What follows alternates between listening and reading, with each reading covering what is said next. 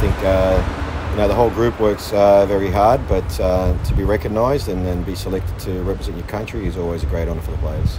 Yeah, uh, Ryan Grant, uh, kind of back from the blue, but Anthony Caceres, I think people have been waiting for him to get his turn for some time. Yeah, look, Anthony's uh, a very good player, very technical player, can play multiple positions. Uh, he's, he's been uh, very good since I've come in. He's probably been one of our most consistent players uh, since I've come into this role, and like very ecstatic for him to get this opportunity. Yeah, as you say, he's pretty versatile. How do you think the Australian team can get the best out of him? Yeah, look, that's for Popper to decide on, on, on how he wants to play and how he wants to utilise the players that he's selected. Uh, but Cassie is very versatile. He can play in uh, multiple positions, uh, and he'll still do a fantastic job. Okay, and Hayden, I mean, he's I think he's had 20 A-League games. It, it is a meteoric rise, isn't it? Is he ready for international football? Well, we'll find out. I, I, I believe that he definitely is. I think he's done very well uh, coming in uh, late in the back end of our season last year, and I think he's been doing well this year, and, uh, and I think this will uh, only make him grow.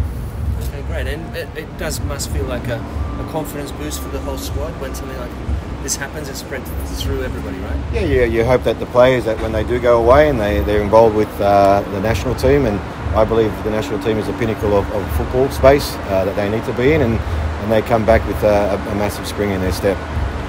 With, uh, I mean, in your career, you were regarded as one of the best players to never get a call up. I mean, it's a, it is an acknowledgement of your skills, but it's not a title you want, right? So it's, it's good that Cass is not that. No, definitely. You uh, look, you always uh, want to represent your country. It doesn't matter at any level. I think it's a great honour. It's a great privilege to, to be selected to represent your country uh, at any level. So for Cass to have this opportunity and Hayden's first camp as well, and Rhino's been there before, I, I think the boys will be very pleased with what they've achieved. Up since the Hiroshima game, and how's the team looking for tomorrow? Yeah, the boys had a good recovery day yesterday. Today they'll be on feet again. We'll do some tactical work with them uh, for what we need to do against the opposition uh, tomorrow evening.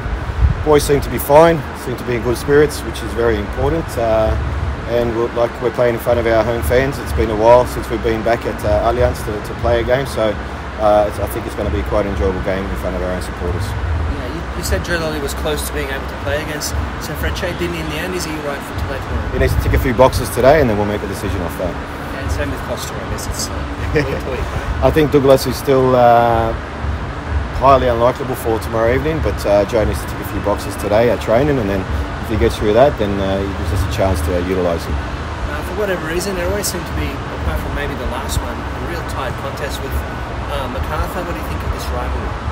Yeah, I think it's a great rivalry. I think they are a very good team. They've got some very experienced players uh, uh, in, in their squad. Uh, they have, probably haven't had the results they would, they would have liked in the last two games. So I think it's going to be a very challenging game for us, especially with a short turnaround for our players.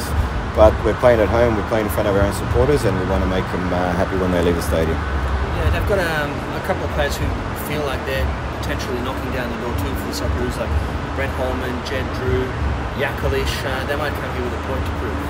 Yeah, definitely. I think uh, look at the A League as a whole. I think there's a very young uh, group of talented players that will be knocking on the, on the Socceroos door, and, and this is what the, this competition provides an opportunity for these young players to showcase themselves.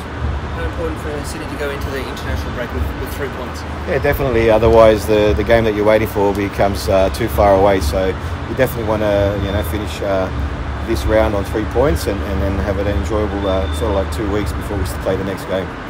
Plenty of chances against the Japanese team over both legs. Is it uh, a little bit more clinical in attack? Is that what you're looking for? Well, that, that's what it is. I think the difference when we play international football or Champions League, uh, you have to be ruthless, you have to be clinical in front of goals. We, we created enough opportunities to, to score a couple of goals in that game.